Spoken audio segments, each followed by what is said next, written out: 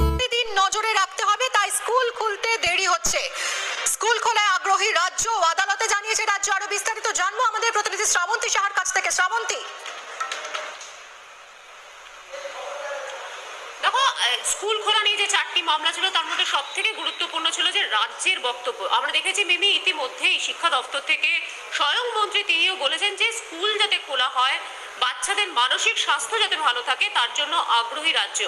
আজকে রাজ্য সরকারের পক্ষ থেকে এজি আদালতে জানালেন যে তারা স্কুল খুলতে আগ্রহী, কিন্তু কেন স্কুল খোলা যাচ্ছে না? তার পিছনে যুক্তি হিসেবে তিনি বলেন যে এখনও পর্যন্ত আঠারো বছর যারা বয়সী হয়েছে, এরকম ছাত্রছাত্রীদের ভ্যাকসিন দেওয়া হয়েছে। যদিও বহু জেলায় অনেক ভ্যাকসিন দেওয়া সম্ভব হয়েছে, বহু জেলায় এই ভ্যাকসিন দেওয়ার ক্ষেত্রে পিছিয়ে রয়েছে। একটা সংখ্যা তুলে দেওয়া হয় মিমি আজকে বলা হয়। প্রায় তেত্রিশ লক্ষ ছাত্রছাত্রী ইতিমধ্যেই ভ্যাকসিন পেয়েছেন। কিন্তু সংখ্যাটা নেহাত কম নয়। তার কারণ এর পরের তারা যে ভ্যাকসিনের ডোজ দেবেন, সেটা হচ্ছে পনেরো থেকে আঠারো বছর বয়সী যারা রয়েছে। এরকম একটা সংখ্যা স্থির করা হচ্ছে অন্তত পক্ষে পঁয়তাল্লিশ লক্ষ। তারা এখনও পর্যন্ত ভ্যাকসিন পেতে বাকি রয়েছেন। সেক্ষেত্রে এদের যতক্ষণ না ভ্যাকসিন দেওয়া হচ্ছে স্কুল খোলা সম্ভব নয়।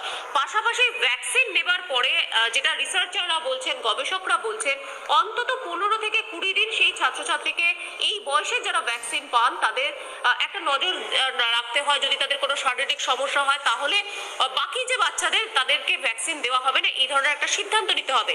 এখনও পর্যন্ত সেই দিন অতিক্রান্ত হয়নি, যার ফলে তারা এই সিদ্ধান্ত নিতে পারছেন না। যদিও এই বিষয়টি উল্লেখ করেছেন এজি যে তারা বুঝতে পারছেন যে এটার সাথে ছাত্রছাত্রীদের মানসিক একটা স্বাস্থ্য ক্রমশ খারাপের দিকে যাচ্ছে। সেক্ষেত্রে তুমি আমাদের সঙ্গে থাকো আমরা এই মুহূর্তে যোগাযোগ করেছি সৌগত বসু শিক্ষক সংগঠনের নেতা আমাদের সঙ্গে রয়েছেন।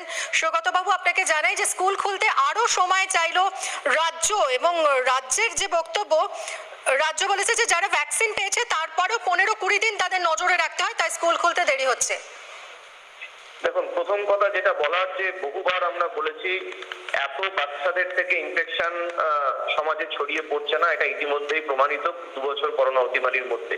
সেক্ষেত্রে কেন এই সময়টা চাওয়া হচ্ছে, সেটা বিজ্ঞানসম্মত যুক্তি খুঁজে পাওয়া